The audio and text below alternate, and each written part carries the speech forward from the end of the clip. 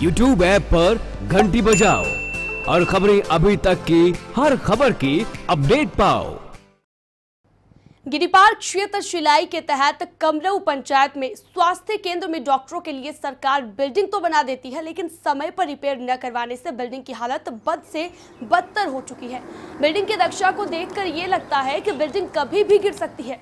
Building की हालत को देखकर डॉक्टरों ने उसमें रहना बंद कर दिया, जिसके चलते लोगों ने भी वहाँ पर आना बंद कर दिया। लोगों को भी काफ़ी दिक्कतें हो रही है।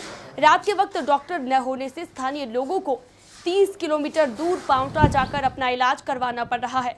बिल्डिंग की खस्ता हालत को देखते हुए लोगों ने सरकार को पत्र लिखकर इसे ठीक कराने की मांग की है।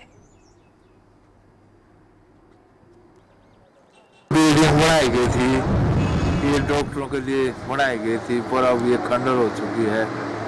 इसलिए सरकार से निवेदन है कि जल्दी जल्दी इस बिल्डिंग की रिपेयर कराई जाए।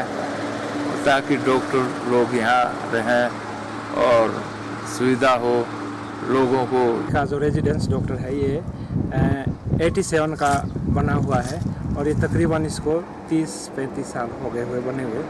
तो आज इसकी जो स्थिति है वो बिल्कुल ठीक नहीं है और हम सभी समस्त पीएससी के जितने भी समस्त कर्मचारियों को ब्लॉक के माध्यम से बी साहब से या सी साहब से ही अनुरोध करते हैं। उन्हें बताया भी गया है, पहले वो भेजा भी है कि ये जो भवन है, ये बिल्कुल ठीक नहीं है और इसको डिसमेंटल का भी लेटर दे दिया है उन्होंने और आगे डिपार्टमेंट को भेज दिया है।